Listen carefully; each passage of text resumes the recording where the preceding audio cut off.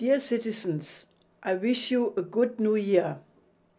The new year 2023 must become the year where humanity reaches the age of adulthood.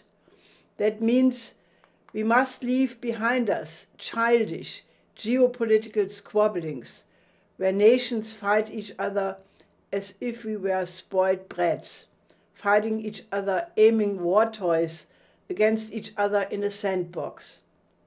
That sandbox can turn thermonuclear radioactive in a moment.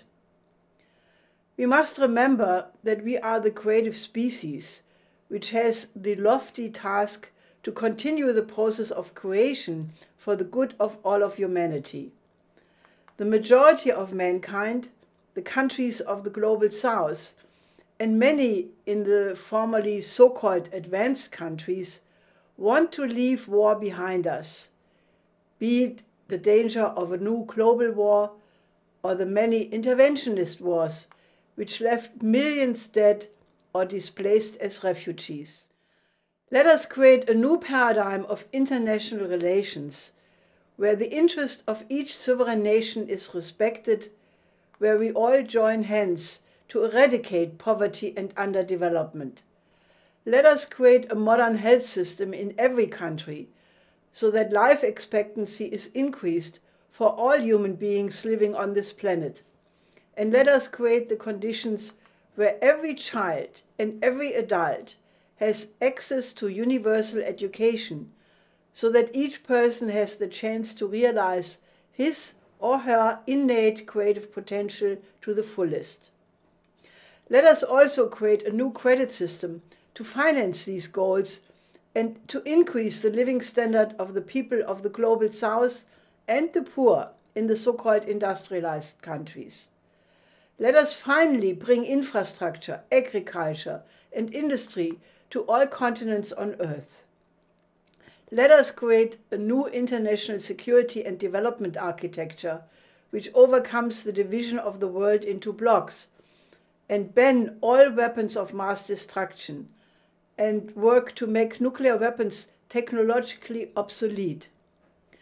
Let us think of the entire human species as that higher one, which is of a higher order than the many nations.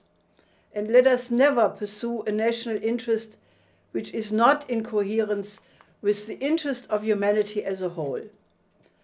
Let us put the political, economic, and social order in cohesion with natural law, the laws of the physical universe. And let's increase that knowledge through progress in science and classical art.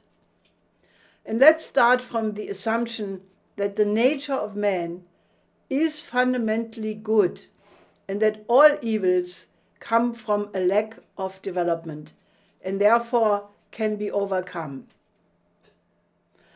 a new world economic order is emerging, involving the vast majority of the countries of the global south.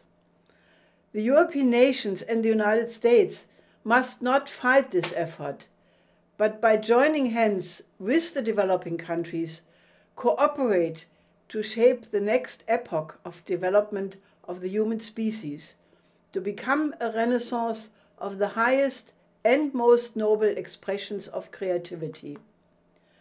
Let us therefore create an international movement of world citizens who work together to shape the next phase in the evolution of mankind, the new epoch. World citizens of all countries, unite.